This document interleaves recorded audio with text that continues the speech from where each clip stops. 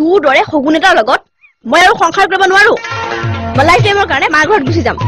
তই এনেকে যাওঁ বুলি যাব নোৱাৰা নহয়। কিয়? দস্তুৰ মত মই তোৰ হাজবেণ্ড কি? অ নহয় নহয় চৰি হাজবেণ্ড মোৰ অৰ্ডাৰ মতে চলিব লাগিব। দস্তুমত তোৰ অৰ্ডাৰ মতে মই নচলো। তোৰ ধৰিয়নৰ বান্দৰ বুলি ভাবিছ নেকি? যেনেকে নাচিব দিবি মই তেনেকে নাচিম। উহ ৰচোন ৰ তই খং কিয় কৰা। এখন ঘৰৰ বৰি হৈ আহিছাই যেতিয়া। কমচে কম আই পিটিৰ কথাটো শুনব লাগিব। তোৰ আই পিতাই মোক বিয়া পাতি আনিছে নেকি? মই নিজে আহিছো নিজে গুচি যাম। এই এই এই সন্ধিয়া খাতি আছে নি পলেৰি কি কৈছা তই?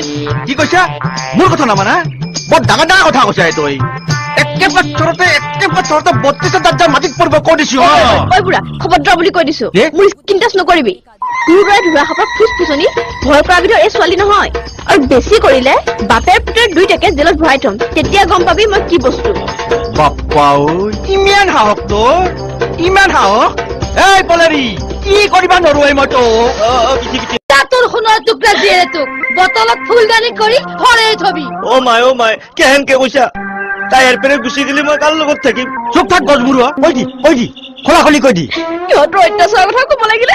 এইখন ঘৰত কুকুৰ মেকুৰী গৰু ছাগলী হাঁহ পাৰ নিগৰি একো নাথাকে। হাৰাম জাদি পলেৰি তোৰ ইমান বাহাদুৰি। অ, বিয়া